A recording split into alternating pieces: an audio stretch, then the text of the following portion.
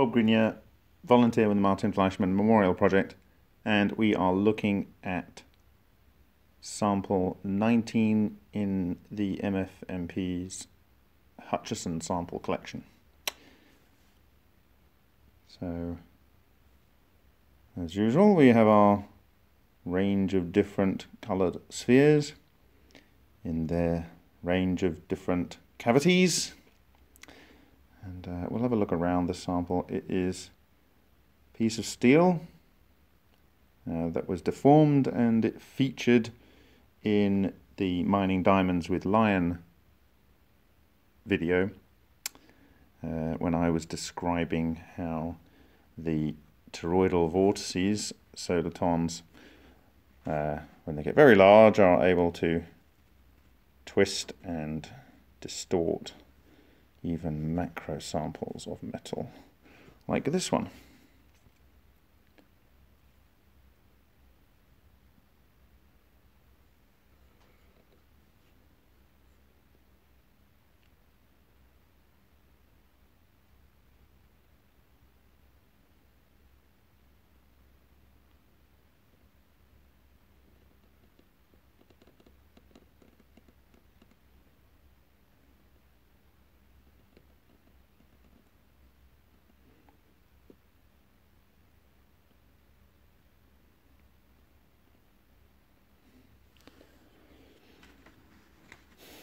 So I've got the sample attached to a piece of white paper which enables me to move it around and uh, then I can zoom in and zoom out on various features.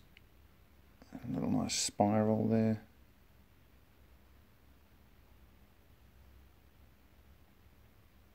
And I'm just applying a little bit of pressure to the tripod here uh, to enable me to move to different areas.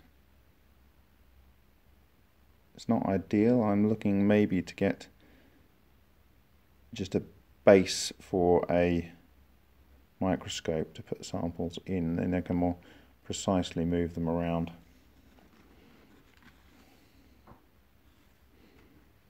You can see on the side of the screen there where it's blurred.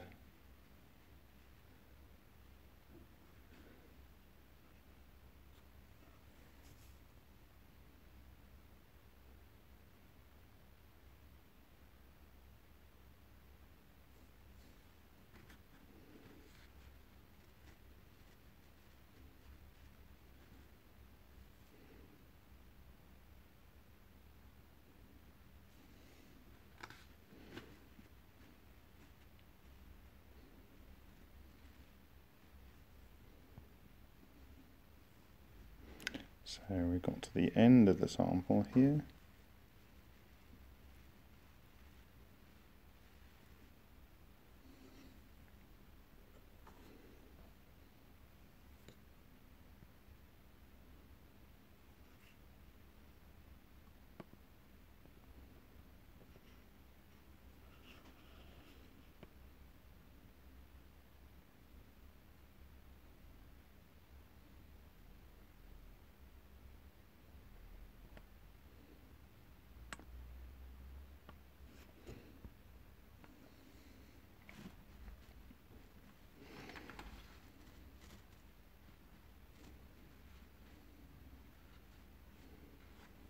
Deep cavity there.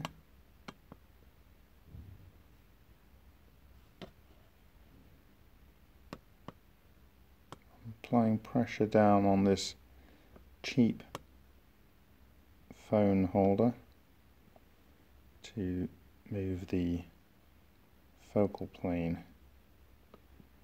into the cavity and out of the cavity.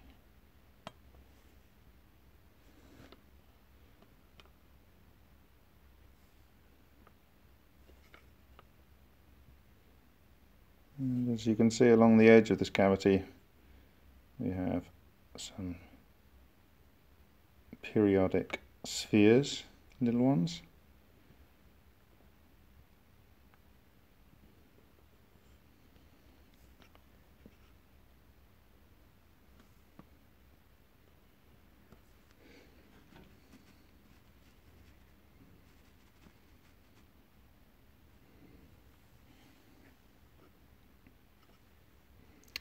Yes, definitely need a new lens. It's a very nasty blurry area we're now going to have to live with until I can get a new lens. Diamonds and most things don't go together very well.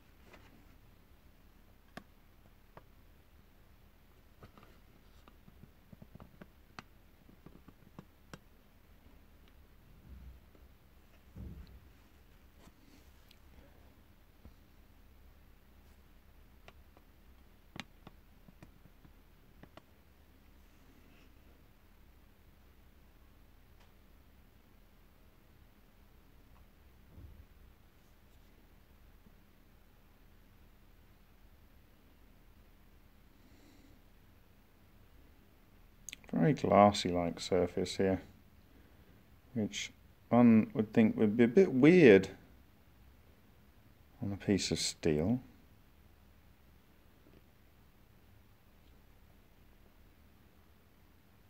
But we've seen lots of glassy things in our journey in our journey in the last few weeks. So this is not surprising to those that have been following this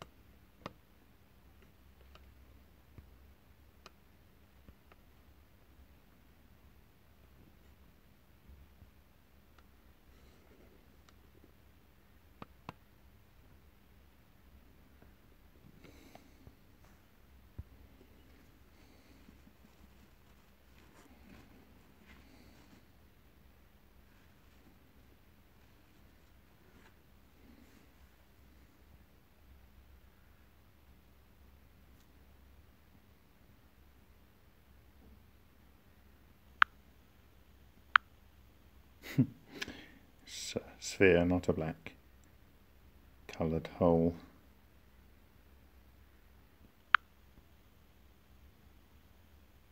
adjusting the brightness there.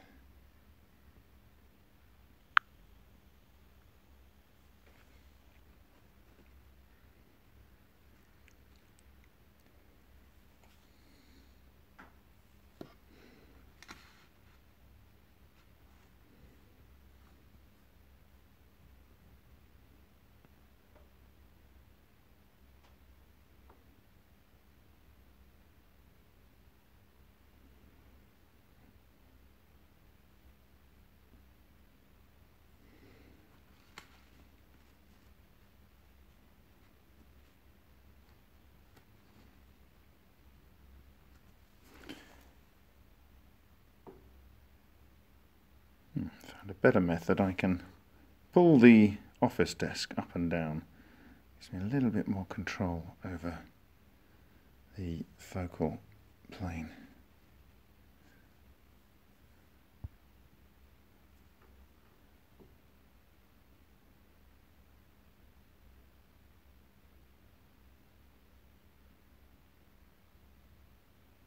There we go.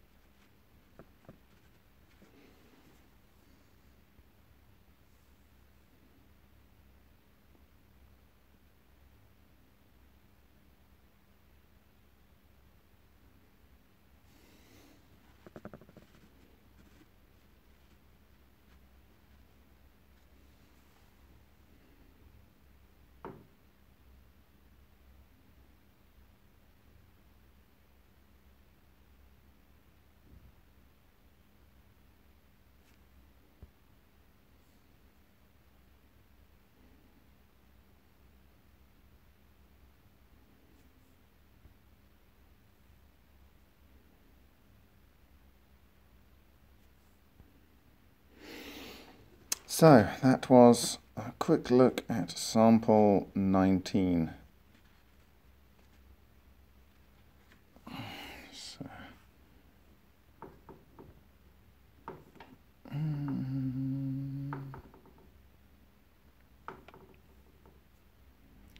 thank you for your time.